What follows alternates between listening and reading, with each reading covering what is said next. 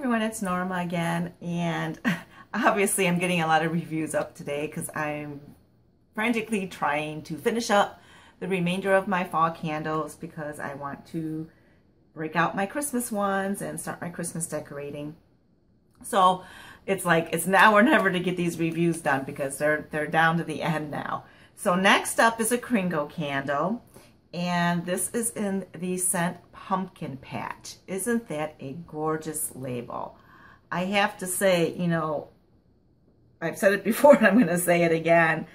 You know, I've, I branched out in the last couple years, been trying a lot of candle companies. But as far as the packaging and the labels, Kringle wins hands down. Um, they are struggling a little bit in the throw department, which I'll get to in a minute here, but let's read you the scent description. The scent description for Pumpkin Patch reads, simple pumpkin goodness, accented by spicy ginger, clove, and a suggestion of sugar gourmand notes distinguish this autumnal arrival. Now, this does have the actual scent notes listed. The scent notes are top, spices and vanilla. The mid, cinnamon bark, clove, spicy vanilla. And the base, gourmand and spicy.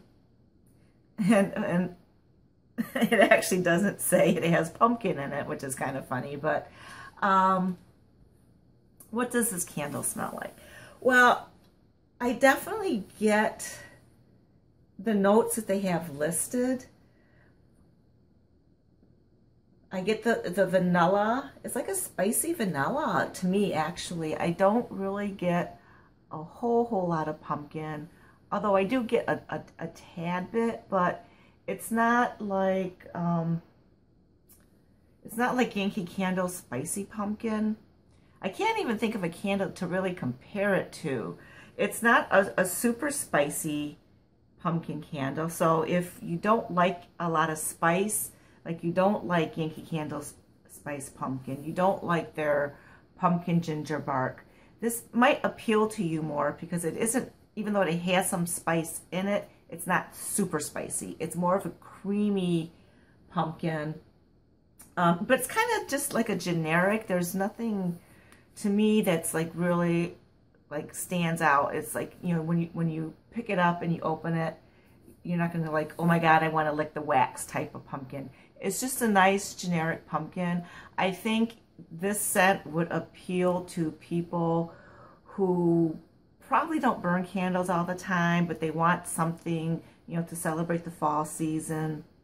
They don't like really heavy, spicy scent, and they don't like really strong candles. And there is definitely a market out there for this type of candle. For me, this was just blah. I was kind of disappointed in it, and I probably wouldn't order it again.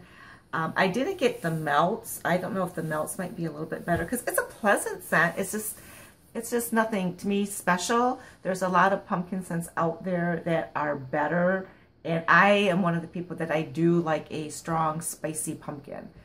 Um, this was just a little bit bland and boring for me. Um, as far as the burn. I didn't have too many problems.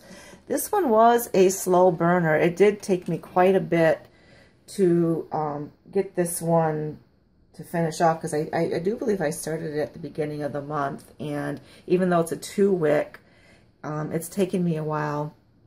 I have had a little bit issues, um, you know, with some residue just because, like I said, it's been a very slow burner. It hasn't pulled out quickly. Wick's struggling a little bit, but not too much. I mean, this is um, the second or third burn today. I think it's it's on its no, it's it's, it's a second burn, um, and the flames were getting pretty high, so I had to blow it out and trim the wicks to the review. And as you can see, it's also at the very end. I mean, this is definitely its final burn. Now, one thing with the Kringles, I mean, this candle will probably go all afternoon because they do tend to burn down to the bitter end. I mean, they don't leave a lot of leftover wax. So you definitely, you know, use up your whole candle. Whereas some other brands, you know, they would stop at this point already.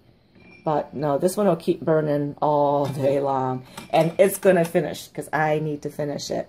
But um, the throw, you know, it's a light thrower for me. I have it in my computer room and I can detect it, but mostly if I walk in and out of the room, if I'm sitting here, I can't really smell it. And in a larger room, it, it completely got lost. So I basically, um, I did have this burning in, in my big room and it was a blender with all my other pumpkin scents that I had going on. Because on its own, it just, you know, it wasn't strong enough to handle the larger room. Like And like I said, it's doing okay in here, um, but it would have been better if I had two of this, if I really, really wanted to smell it in this room and have it fill the room and spill out into the hallway. But this is the only one I have, and like I said, I probably won't repurchase this one. If I did, it would be for the label. To tell you the truth, the label is just simply gorgeous. But um, like I said, for me, there's just other pumpkin scents out there that I prefer because I like my spicy pumpkin. Anyway, there you guys have it. I do have one more fall candle to review and then that's it for all the fall candle reviews. You know, we're going to go full mode into the holiday sets. So stay tuned for that. If you guys like this video, please comment, like, and subscribe below. And have a blessed day.